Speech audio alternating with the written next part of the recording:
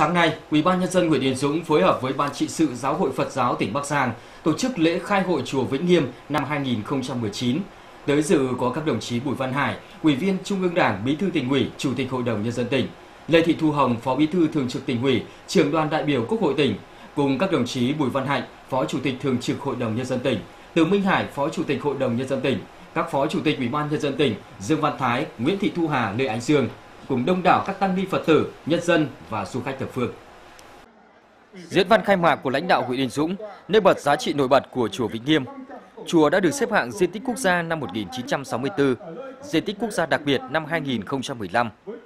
Năm 2012, Bộ Mộc Bản Chùa được Tổ chức Giáo dục Khoa học và Văn hóa của Liên Hợp Quốc UNESCO công nhận là di sản tư liệu ký ức thế giới khu vực châu Á-Thái Bình Dương. Năm 2013, lễ hội chùa Vĩnh Nghiêm được công nhận là di sản văn hóa phi vật thể quốc gia. Những năm qua, ngành chức năng và huyện Yên Dũng đã thu hút đầu tư xây dựng, tôn tạo một số hạng mục mở rộng chùa Vĩnh Nghiêm theo quy hoạch được Ủy ban nhân dân tỉnh phê duyệt, như xây dựng nhà lưu trữ và trưng bày mộc bản.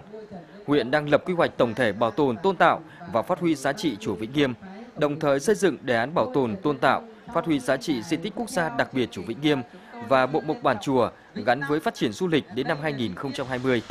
Lễ hội chùa Vĩnh Nghiêm hay hội chùa La được tổ chức vào ngày 14 tháng 2 âm lịch hàng năm tại thôn Đức La, xã Trí Yên, huyện Yên Dũng. Tại lễ hội năm nay, sau phần đánh trống khai hội, nhiều hoạt động văn hóa thể thao truyền thống được tổ chức như chương trình giảng pháp cho Phật tử,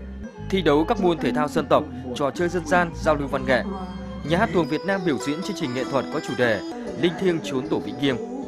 Lễ hội chùa Vĩnh Nghiêm kéo dài đến hết ngày 19 tháng 3.